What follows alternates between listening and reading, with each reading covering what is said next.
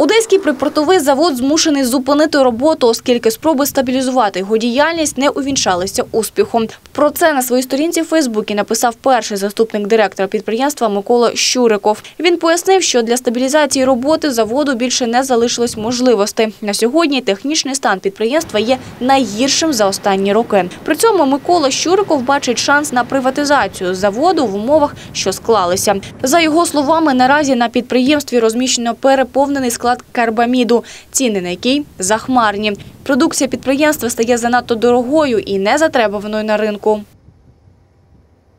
На жаль, залишу три крапки без продовження та не буду писати довгий пост, чому і хто винен. Факт, що вікно можливостей для стабілізації заводу зачинилось. Кожна нова влада робить однакові помилки, намагаючись вичувати із заводу все, що можливо. А зважаючи, що з 2004-го влада тільки деградує, то сьогоднішній технічний стан заводу найгірший за останні роки. Але сподіваюся, що тепер, коли немає з чого гріти руки, які нічого не брали, то є шанс провести приватизацію.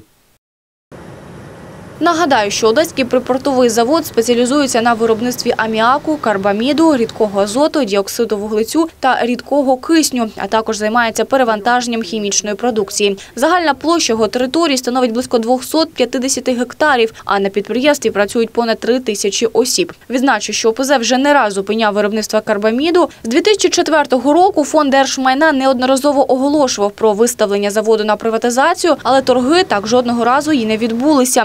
Втім, приватизація навряд чи врятує підприємство, вважають спеціалісти. Швидше навпаки, в українському варіанті приватизація означатиме ліквідацію ОПЗ і його продаж по частинах. Проте, за новою інформацією, на заводі планують відновити роботу з 1 листопада. П'ятитижневий простір ОПЗ використовують для проведення щорічного профілактичного ремонту обладнання. Основний дохід у цей період будуть приносити інші види господарської діяльності, зокрема перевантаження аміаку.